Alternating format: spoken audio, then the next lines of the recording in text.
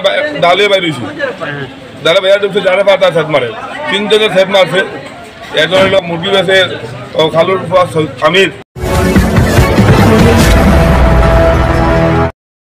এক যুবকের দায়ের কূপে তিন ব্যক্তি গুরুতর আহত হওয়ার ঘটনায় তীব্র চাঞ্চল্য দেখা দিল উধারবন্দে।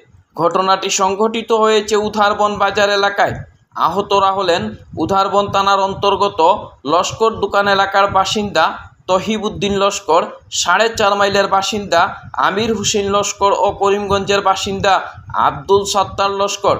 ঘটনার বিবরণে জানা যায়, রবিবার রাত সাড়ে আটটা নাগাদ দয়াপুর রোডের বাসিন্দা সাধন সিংয়ের ছেলে প্রীতম সিং আচমকা ধারালো দা নিয়ে ফরেস্ট অফিস সংলগ্ন বাজার রোডে প্রথমে আমির হুসেন লস্কর ও আব্দুল সাত্তার লস্করের উপর কোপ বসিয়ে দেয়। পরে ফরেস্ট অফিসের বিপরীতে একটি দোকানের বারান্দায় গিয়ে তহিবুদ্দিন লস্করের উপরও কূপ বসিয়ে দেয়। এতে গুরুতর আহত হন তিনজনই। ঘটনার সঙ্গে সঙ্গে প্রত্যক্ষদর্শীরা প্রীতম সিংকে পাকড়াও করে গণধুলাই দিতে শুরু করেন। এতে আহত হন প্রীতম সিংহ। খবর পেয়ে দলবল নিয়ে ঘটনাস্থলে ছুটে যান উধারবন থানার হাউ ক্যাম্প চ্যাংসাং। তিনি গিয়ে দাসসহ প্রীতম সিংকে উদ্ধার করে থানায় নিয়ে আসেন। এদিকে ঘটনার পরই আহত তিনজনকে উদ্ধার করে উধারবন প্রাথমিক স্বাস্থ্যকেন্দ্রে নিয়ে যাওয়া হয়। কিন্তু আহতদের অবস্থা গুরুতর থাকায় তাদেরকে সঙ্গে সঙ্গে শিলচর মেডিকেল কলেজ ও হাসপাতালে পাঠিয়ে দেওয়া হয়।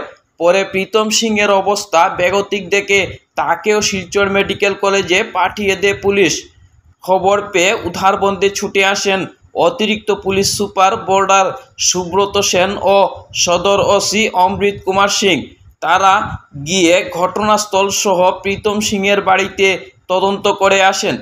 এদিকে বাজার এলাকায় সন্ধ্যা রাতে ধারালো দা দিয়ে আক্রমণের ঘটনার খবর ছড়িয়ে পড়তেই চাঞ্চল্য দেখা দেয় গোটা এলাকায়। কী কারণে এমন ঘটনা সংঘটিত হয়েছে তা এখনও জানা যায়নি। তবে পুলিশের তরফে তদন্ত অব্যাহত রয়েছে বলে জানা গেছে। ঘটনা শুনছি একটা ডালে বাইরে ঢুকছে পাতা মারে। তিনজনের মারছে। একজন হলো মুরগি বেছে খালুর আমির আর একটা মাছ সাত্তার আর একটা আমরা বাইক না।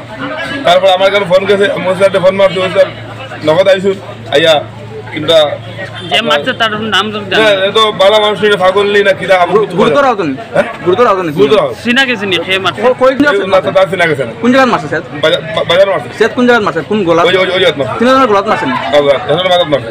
মানুষ আপনার চিনছেন নি। তিনজনের অবস্থা কিটা? অবস্থা খারাপ আছে। কোন জায়গায় মারছে? বর্তমানে তারা কই আছে? কোন জায়গায় বর্তমানে এখন তারা হসপিটাল উদাহরণ তখন তারা অ্যাম্বুলেন্স নিয়ে যাওয়া আপনার ইয়ত শিলচার মেডিকেল